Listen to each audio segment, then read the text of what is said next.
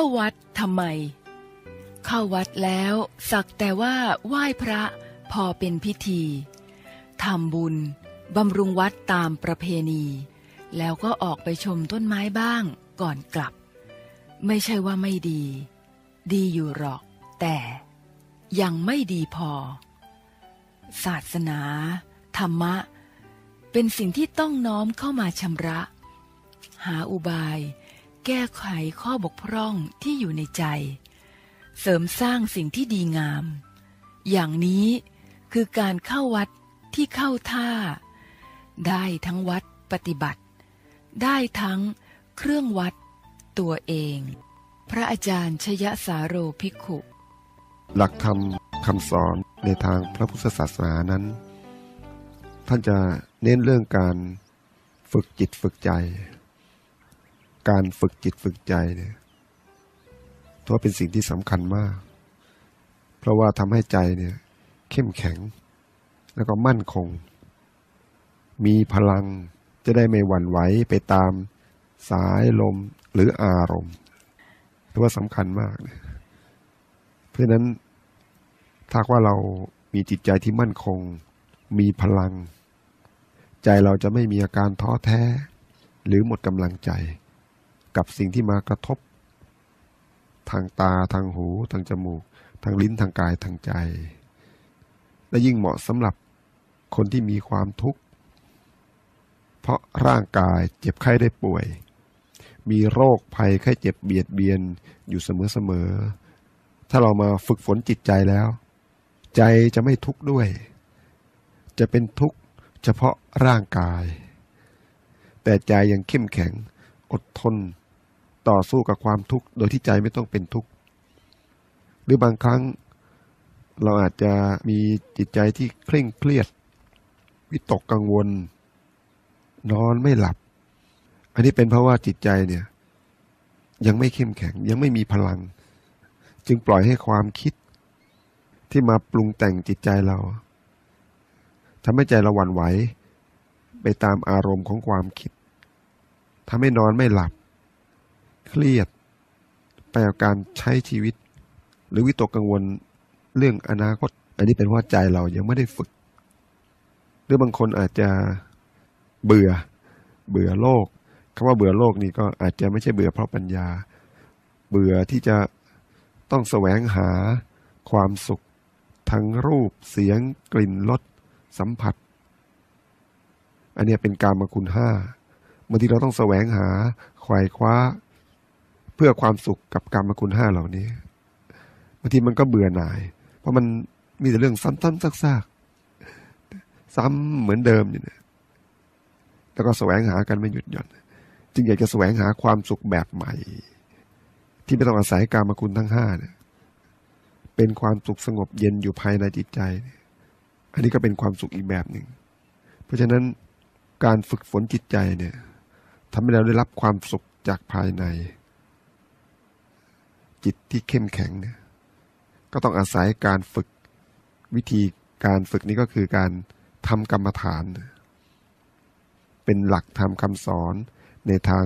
พระพุทธศาสนา คือการทำกรรมฐานเนี่ยชื่อของกรรมฐานเนี่ยเราอาจจะดูมันเคร่งเครียดไปหน่อย แต่ความหมายเขาดี กรรม แปลว่าการกระทำฐานก็คือที่ตั้ง กรรมฐานก็คือที่ตั้ง แห่งการกระทำทางด้านจิตใจ เป็นความหมายที่ดีมาก จะเรียกว่าเป็นโรงงานฝึกจิตใจก็ได้ กรรมฐานเนี่ยหรือหมายถึงวิธีการฝึกฝนจิตใจก็ได้นี่เป็นชื่อของกรรมฐาน ก็มีสองอย่างด้วยกันก็เรียกว่าอะไรสมถกรรมฐานกับวิปัสสนากรรมฐาน สมถกรรมฐานนี่ก็คือ อุบายทำให้จิตสงบ อุบายทำให้จิตสงบ นี่คือสมถกรรมฐาน ถ้าใครปฏิบัติแล้วเนี่ยทำให้มีความสุขในปัจจุบัน นอนหลับสบาย ป้องกันและรักษาโรคจิตโรคประสาทได้ อาจจะสงบชั่วคราวแบบหินทับหญ้าก็ได้ แต่ก็มีความสงบอยู่ในอารมณ์ก็แล้วกัน ตายไปก็ไปเกิดดีเป็นเกิดในสุคติ สูงสุดคือชั้นพรหมถ้าสงบจนทั้งได้ฌานแล้วก็ไป อุบัติในชั้นพรหมพรหมโลก อย่างเช่น อาลาลดาบทกับอุทกดาบทเนี่ยซึ่งเป็นอาจารย์ของเจ้าชายสิทธัตถะเนี่ยตอนนี้ก็อุบัติอยู่ที่พรหมโลก แต่เราก็ต้องกลับมาเวียนว่ายตายเกิดในภพภูมิต่างๆอีก ยังตัดกิเลสได้ไม่ถาวร อารมณ์ปฏิบัติก็อาศัยสมมุติบัญญัติเนี่ยอย่างเช่นเรานั่งทำความสงบบริกรรมว่าพุทโธ พุทโธ ให้จิตเป็นหนึ่ง เพื่อจิตมันสงบ เราจะนับหนึ่งสองสามสี่เพื่อจิตมันสงบ อันนี้คือสมถกรรมฐานเป็นอารมณ์การปฏิบัติ กรรมฐานที่สองก็คือวิปัสสนากรรมฐาน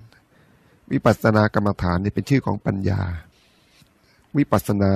แปลว่าการเห็นแจ้ง วิแปลว่าแจ้ง ปัสนาแปลว่าเห็น เห็นแจ้ง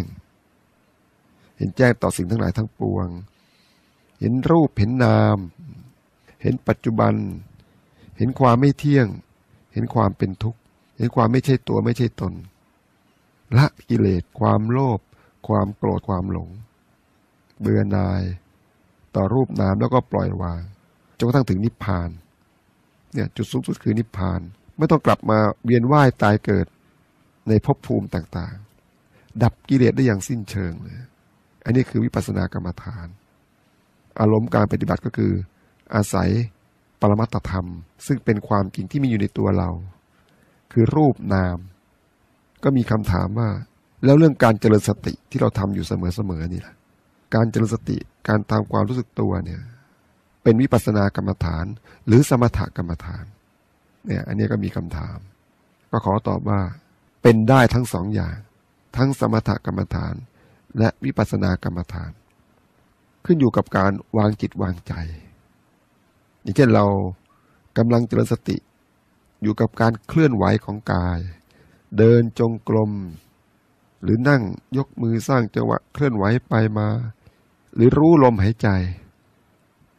หรือทำอะไรก็ตาม ถ้าเราเพ่งเราบังคับ เพื่อใจมันสงบ แนบแน่นอยู่กับอารมณ์ กับกายที่เคลื่อนไหวแล้วก็ อันนี้เป็นสมถกรรมฐาน แต่ถ้าเรามีสติ รู้กาย รู้เฉยๆในการเดิน การยืน การนั่งการนอน รู้เฉยๆรู้แบบดู แบบแยกๆไม่เข้าไปอยู่ไปเป็นกับกายที่เคลื่อนไหว อันนี้เป็นวิปัสสนาเห็นไหมต่างกันแล้วหรือบางทีมันเกิดอาการสุขทุกข์เขาเรียกว่าเวทนา อย่างเช่น ความปวดความเมื่อยที่เกิดขึ้นทางด้านร่างกาย แต่ถ้าเราบังคับ เพื่อให้ความปวดนี่มันหายไป จิตจะได้สงบ อันนี้เป็นสมถกรรมฐาน แต่ถ้าเรามีสติรู้เฉยๆในอาการความปวด รู้เฉยๆไม่บังคับ ความปวดก็ส่วนหนึ่ง สติที่เข้าไปรู้นี่ก็ส่วนหนึ่งเห็นไหมมันแยกๆกันอย่างเงี้ย ไม่เข้าไปเป็นผู้ปวด ไม่มีการบังคับ ความปวดความเมื่อยเขาจะหายหรือไม่หายเนี่ยก็ไม่สำคัญ ไม่เกี่ยว สติแค่รู้เฉยๆ อันนี้เป็นวิปัสนา ไม่มีการบังคับ มีแต่การตามดูตามรู้ หรือบางทีมันเกิดความคิด ความคิดปรุงแต่งในจิตใจ ชอบใจหรือไม่ชอบใจเนี่ย ถ้าเป็นสมถกรรมฐาน เราก็บังคับเพื่อให้ความคิดเนี่ยมันหายไป จิตจะได้สงบ มุ่งกับความสงบ แต่ถ้าเรามีสติรู้เฉยๆความคิดจะดับหรือไม่ดับก็ไม่เป็นไร แค่รู้เฉยๆ รู้แบบปล่อยๆวางๆ ไม่ต้องการอะไร อันนี้เป็นวิปัสสนา พอจะดูออกแล้วหรือบางครั้งมันเกิดอารมณ์ในจิตใจเราเนี่ยเป็นรูปเป็นนาม เห็นรูปเห็นนาม เห็นกายเคลื่อนไหวเป็นรูป เห็นใจที่คิดนึกเป็นนาม แค่รู้เฉยๆว่า สักแต่ว่ารู้ รูปนามมาเป็นเพียงให้เราระลึกรู้เท่านั้น รู้แบบสบายๆอันนี้เป็นวิปัสสนา เราพอจะแยกได้ว่าในแต่ละวันเนี่ย เราปฏิบัติอย่างไร ขึ้นอยู่กับการวางใจ แต่ถ้าแต่ละวันเนี่ย เราไม่รู้อะไรเลยหลงลืมสติ เผลอไปกับอารมณ์เสมอๆเนี่ย อันนี้ถือว่าไม่มีกรรมฐานยังไม่ได้ปฏิบัติ เพราะฉะนั้นการปฏิบัติธรรมเนี่ย จะเป็นวิปัสสนากรรมฐาน หรือสมถกรรมฐาน อันนี้ก็ไม่เป็นไรขณะปฏิบัติเราไม่ต้องแบ่งแยก มีประโยชน์ทั้งคู่แหละมันแยกกันไม่ออกหรอกเมือนอย่างกับอะไร ไม้ท่อนหนึ่ง ก็มีทั้งทางโคนแล้วก็ทางปลาย อาหารที่เราทานเข้าไป กับอุจจาระที่ออกมาเนี่ย มันก็ไม่ต่างกัน เป็นเรื่องเดียวกัน ขวานหนึ่งด้าม มีทั้งทางคมแล้วก็ทางสัน ทางสันใช้ตอก ทางคมใช้ถาก ใช้ประโยชน์ได้ทั้งนั้น บางครั้ง เราต้องการให้จิตมันสงบ เพื่อเป็นการพักจิตพักใจ อันเนี้ยก็ถือว่าเป็นประโยชน์เป็นสมาธิ แต่บางครั้งมันเกิดความคิดนึกปรุงแต่งฟุ้งซ่าน เราก็ต้องใช้สติ รู้เท่าทันในความคิดแล้วก็ปล่อยวางใช่ไหมเราอาศัยสองอย่างเลย ทั้งสมถะทั้งวิปัสสนา ปฏิบัติควบคู่กันไปเลย ไม่ควรจะแบ่งแยก ในชีวิตแต่ละวันเนี่ย เราควรจะมีเรื่องของกรรมฐานเข้ามาเกี่ยวข้อง จะได้ประโยชน์มาก จะเป็นบุญเป็นกุศล จะทำอะไรอยู่ก็ตาม จะนอนจะนั่งจะยืนจะเดิน ให้เรารู้ตัว มีสติมีจิตใจจดจ่ออยู่กับการทำงาน เป็นสมาธิการอ่านหนังสือการเขียนหนังสือ จิตใจจะไม่เลื่อนลอย แต่ถ้ามันเกิดความคิดหงุดหงิดชอบใจไม่ชอบใจ เราก็รู้เท่าทันอาการต่างๆ ในแต่ละวัน อันนี้เป็นการปฏิบัติอยู่กับการทำงาน ไม่ต้องไปไหน อยู่กับตัวเรานี่เอง เป็นบุญเป็นกุศลที่เราควรจะสะสม เป็นอุปนิสัย ให้เกิดขึ้นอยู่หนึ่งเนืองๆพอนานวันเข้าเนี่ย จิตมันก็จะเต็ม เต็มไปด้วยบุญกุศลที่เราสะสมเอาไว้ แม้กระทั่งเราตายเนี่ยเราก็เกิดในสุคติ ตายไปกับกรรมฐานเนี่ยกับการปฏิบัติเนี่ย จะต้องไปสู่ความเป็นสุขโตนะ สุขโตก็คือเป็นผู้ที่ไปแล้วด้วยดี ไปแล้วด้วยดีไปอย่างไร คือไปสู่ความไม่มีทุกข์อย่างไงพยายามที่จะสั่งสมสิ่งเหล่านี้ให้มีขึ้นในจิตใจเราเสมอๆจะเป็นที่พึ่งของเรา ทั้งในปัจจุบันและก็ในอนาคต